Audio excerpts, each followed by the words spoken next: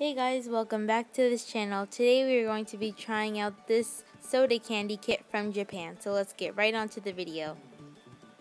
For this you'll need some water, scissors, and of course the kit. When you open up the kit there will be three packages labeled 1, 2, and 3.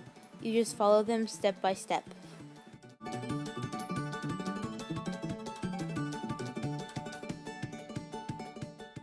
But before that, you must cut off the edge of the plastic container because it is used as the scoop for water.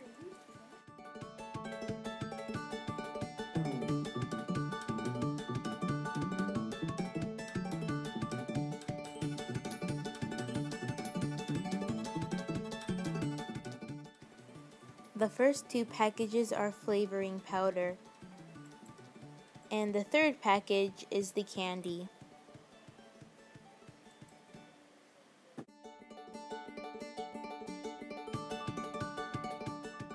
To begin making this, you need to add the first package into the circle shaped container, and then add one scoop of water and then mix.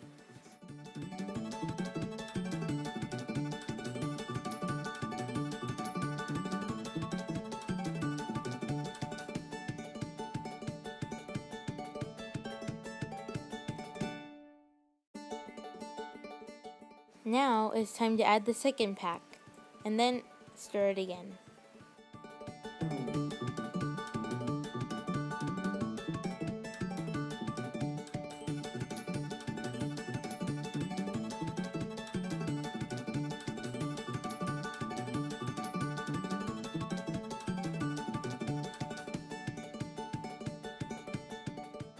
And finally, add your third pack into the character shaped container.